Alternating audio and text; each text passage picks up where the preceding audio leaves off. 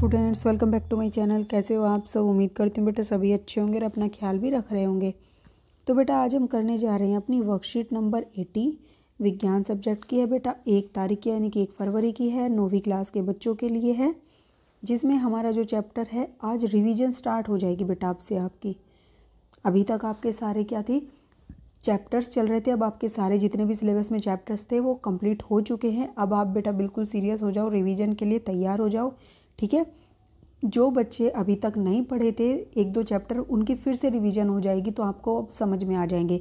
तो अब से कंटिन्यू अपना स्टार्ट कर देना, अगर कोई नया बच्चा है, उसके छूट गए थे पिछली बार तो वो अब कर लेना, कोई प्रॉब्लम नहीं है, लेकिन अपनी रिवीजन स्टार्ट कर देना ओके तो देखो फ़र्स्ट जो चैप्टर है हमारी, जिसकी रिवीजन हो रही है, वो है, क्या हमारे आसपास के पदार्थ शुद्ध हैं, उसकी पुनरावृत्ति आज हम करेंगे।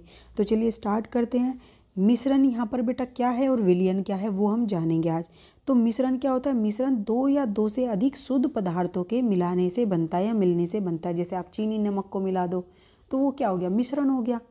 ठीक है? मिश्रण के अवयवी पदार्थों का कोई नियत अनुपात नहीं होता। अब बेटा चीनी या नमक किस मात्रा में मिला रहे हो, उसका कोई अनुपात नहीं है। आप किसी भी उसमें मिला दो तो मिक्सचर हो जाएगा। या मिट्टी में आपने कंकड़ मिला दिए तो वो मिश्रण हो गया। ठीक है? जैसे नमक का घोल बनाने में हम पानी में क्या करते, कम या ज़्यादा नमक घोल सकते हैं। जैसे आप बेटा नमक या नींबू पानी बनाते तो कोई ऐसा तो है नहीं कि इतना ही डालोगे या कितना, कोई फिक्स अनुपात नहीं है। आप अपने अकॉर्डिंग डालते हो। अब मिश्रण के अवयवों को सामान्यतः भौतिक विधियों द्वारा अलग किया जा सकता है। जो मिश्रण होते बेटा, उनको भौतिक विधियों द्वारा अलग किया जा सकता है। जैसे मिट्टी में कंकड़ है तो हम कंकड़ को हाथों से उठाकर या फिर जो हमने नमक का घोल बनाया उसको वाष्पीकरण या निस्यंदन प्रक्रिया द्वारा हम इनको क्या कर सकते हैं? अलग कर सकते हैं मिश्रण को, ठीक है? अब अवयवी पदार्थों के मिलने के आधार पर मिश्रण दो प्रकार के होते हैं। देखो, जो अवयवी पदार्थ मिलाए जाते हैं, मिश्रण तैयार किया जाता है, वो दो प्रकार का होता है, समांगी मिश्रण और विषमांगी मिश्रण। अब ये दोनों क्या होते हैं? समांगी मिश्रण में हर स्थान पर पदार्थ एक जैसे मिश्रित होते हैं, जबकि विषमांगी मिश्रण में पदार्थ हर स्थान पर एक जैसे मिश्रित नहीं होते।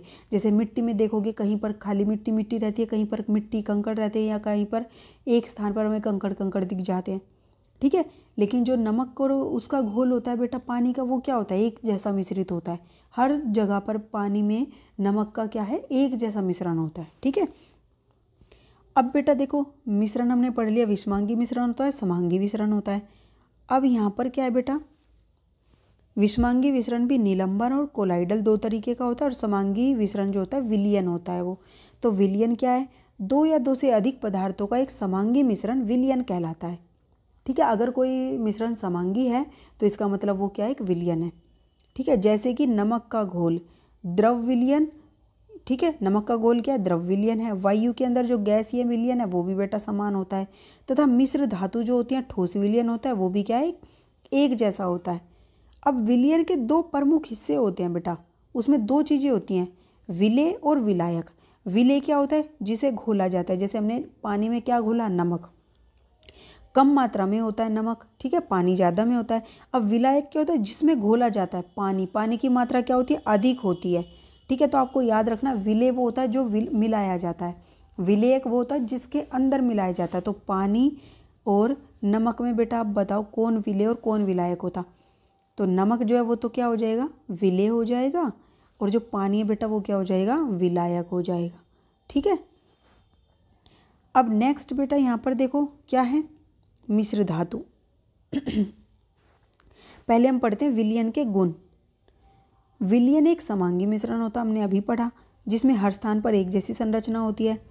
विलियन के कणों का आकार बहुत छोटा होता है, ठीक है? जैसे कि नैनोमीटर में होता है, ten raise to power nine metre के साइज़ का आकार बहुत ही छोटा होता है, और इन्हें नग्न आँखों से नहीं देख सकते हम, ठीक है? जैसे नमक को आप पानी में घोल देते हो तो हमें दिखाई नहीं देते वो। विलियनों में टिंडल का प्रभाव, यानी कि प्रकाश की किरण का पथ दिखना या नहीं दिखाई देता, ठीक है? इस विलियन में टिंडल का प्रभाव नहीं दिखाई देता क्योंकि इसके कण प्रकाश को प्रकीर्णित नहीं करते हैं, ठीक है? यानी कि स्कैटर्ड नहीं करते। विलियन के अवयवी पदार्थों को निस्यंदन से अलग नहीं किया जा सकता। विलियन स्थायी मिश्रण होते हैं। यानी कि बेटा देखो, निस्यंदन मतलब मतलब एक तरीके से फ़िल्टर करके, ठीक है? छान के हम, अब अगर हम नमक और पानी के घोल को छान दे तो क्या नमक अलग हो सकता है? नहीं हो सकता, ठीक है? तो इसको निस्यंदन विधि द्वारा अलग नहीं कर सकते हम। समांगी मिश्रण को या फिर विलियन को? विलियन स्थायी मिश्रण होते हैं, ओके? अब मिश्र धातु क्या बेटा? एक ठोस है। ठोस विलियन कहा जाता है क्योंकि समांगी मिश्रण की तरह इनकी संरचना हर स्थान पर एक जैसी होती है। और यह अपने अवयवी पदार्थों के सभी गुणों को प्रदर्शित भी करते हैं। इसके पदार्थ भिन्न भिन्न मात्रा में जुड़ सकते हैं, जैसे कि पीतल, देखो, पीतल जिंक थर्टी परसेंट और तांबा सेवेंटी परसेंट से बना मिश्र धातु। ठीक है, पीतल जो है वो जिंक और किससे? तांबे से मिलकर बना है, जिसमें तीस प्रतिशत तो जिंक है, जैसे कि सौ प्रतिशत पीतल का मिश्रण है। उसमें क्या है? सत्तर परसेंट तो उसमें क्या है? तांबा है और तीस परसेंट क्या है? जिंक है। और इन दोनों के मिलाने से हमारी एक मिश्र धातु बनी, जो कि क्या है? पीतल। लेकिन इसमें हर स्थान पर एक ही है। जैसे मान लो ये पीतल का टुकड़ा तो इसके इस हिस्से को चेक करोगे? उसमें भी ये दोनों सेवेंटी और थर्टी परसेंट पाएँगे, इसमें भी इसमें भी। हर जगह पर एक जैसा पाएगा इसका अनुपात। ठीक है? तो ध्यान दीजिए कि मिश्र धातु के अवयवी पदार्थ भौतिक क्रियाओं द्वारा अलग नहीं किए जा सकते। अब बेटा देखो, इसमें भी हमने भी क्या पढ़ा था? भौतिक प्रक्रियाओं द्वारा अलग नहीं हो सकते। ऐसे ही मिश्र धातु में भी भौतिक प्रक्रिया यानी कि सिंपल तरीके से हम इनको अलग नहीं कर सकते, जैसे छान कर या फिर हाथों से, ठीक है? तो इस तरीके से हम इसको अलग नहीं कर सकते। अब हम करते हैं बेटा इसके क्वेश्चन आंसर। बहुत ही आसान सी थी आपकी आज की वर्कशीट एक समांगी और विषमांगी मिश्रण में क्या मूलभूत अंतर होता है? बस बेटा वही होता है कि जो समांगी होता है, उसमें मिश्रण में जो अवयवी पदार्थ होते हैं, वो हर जगह पर एक जैसे होते हैं। तो देखो, समांगी मिश्रण में हर स्थान पर पदार्थ एक जैसे मिश्रित होते हैं, जबकि विश्वांगी मिश्रण में पदार्थ हर स्थान पर एक जैसे मिश्रित नहीं होते। ये आपका फ़र्स्ट का हो जाएगा अंतर। सेकंड बेटा क्वेश्चन क्या है? हम मिश्र धातु को समांगी मिश्रण में क्यों गिनते हैं? तो बेटा हम क्यों गिनते हैं? क्योंकि उसमें क्या होता है, हर स्थान पर एक जैसे ही पाए जाते हो। तो आप क्या लिखोगे? आप बेटा लिखोगे इसमें कि हम मिश्र धातु को सामान्य मिश्रण में इसलिए गिनते हैं क्योंकि मिश्र धातु में मिश्रित होने वाले पदार्थ हर स्थान पर एक जैसे मिश्रित होते हैं। ठीक है? ये आप इसमें लिख दोगे।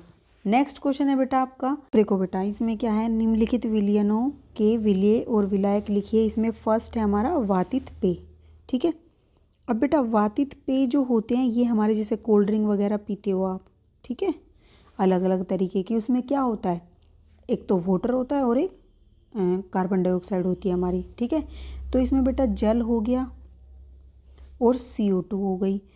ये दोनों चीज़ों का मिक्सचर होता है इसके अंदर, ठीक है? इसमें थोड़ी सी शुगर वगैरह भी होती है, लेकिन उनको नहीं देखेंगे। मेन मेन जो होते हैं जिनके मिलाने से ये बनते हैं, वो हम देखेंगे। तो इसमें ये कम मात्रा में होता है, ये अधिक मात्रा में होता है। तो ये क्या हो गया? विलायक। ठीक है? और ये हमारा क्या है? विलेय हो गया। ठीक है? जो कि मिलाया जाता है। और विलायक जिसमें मिलाया जाता है। उसके बाद बेटा हमारा टिंचर आयोडीन। टिंचर आयोडीन क्या होता है? एल्कोहल में आयोडीन का मिश्रण। ठीक है? तो अब इसमें बेटा देखो, क्या होता है? एल्कोहल क्या हो गई इसकी आपकी? विलायक, जिसके अंदर मिलता है, यानी कि एल्कोहल। आपका क्या हो गया? विलायक। और क्या मिलाया आयोडीन। विलय हो गया, ठीक है? उसके बाद बेटा आपका वायु। अब वायु के अंदर क्या होता है? अलग अलग प्रकार की गैसें होती हैं। तो बेटा सबसे अधिक मात्रा में कौन पाई जाती है? नाइट्रोजन। तो विलायक कौन हो गया? नाइट्रोजन, ठीक है? Nitrogen gas. उसके बाद बेटा जो कम मात्रा में होती हैं, वो बाकी सारी कार्बन डाइऑक्साइड या और भी तरीके की आर्गन, न्यून, ये सब होती हैं और ऑक्सी, ऑक्सीजन होती है आपकी बेटा, ठीक है? तो आप क्या मिला लोगे? ये सारी क्या हो जाएँगी? विले हो जाएँगी।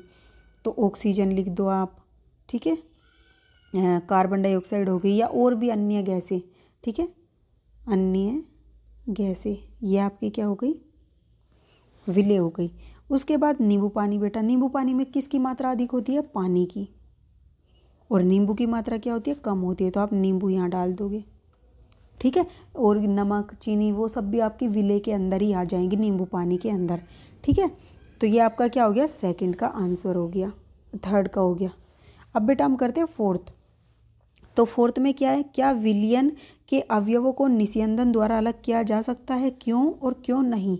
तो बेटा हम विलो को निस्यंदन से क्यों नहीं अलग कर सकते? तो देखो विलियन के अवयवी पदार्थों को निस्यंदन से अलग नहीं किया जा सकता। यहाँ पे लिख देना, क्योंकि विलियन स्थायी मिश्रण होते हैं, ठीक है? जो ये क्या होते हैं? स्थायी मिश्रण होते हैं। ऐसे नहीं अलग हो सकते ये, ठीक है?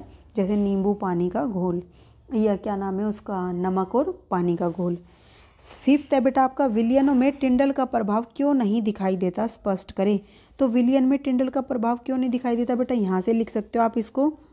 विलियन में टिंडल का प्रभाव यानी कि प्रकाश की किरण का पथ पर दिखना नहीं दिखाई देता क्योंकि इसके कण प्रकाश को परि प्रकीर्णित नहीं करते। इतना लिख दोगे आप। ठीक है? फिर विलियन के गुण लिखिए। तो विलियन के गुण में बेटा ये सारे गुण ही आ गए आपके। इसमें से कोई भी गुण लिख दो आप। ठीक है? तो ये आपकी आज की वर्कशीट थी। उम्मीद करती हूँ आपको समझ आ गई होगी, फिर भी कोई डाउट हो तो बेटा आप कमेंट बॉक्स में पूछ सकते हो। इस वीडियो में इतने अपना नेक्स्ट टॉपिक जो होगा नेक्स्ट वीडियो में करेंगे। तब तक के लिए ऐसे हँसते रहिए, मुस्कुराते रहिए, पढ़ते रहिए और आगे बढ़ते रहिए। Thank you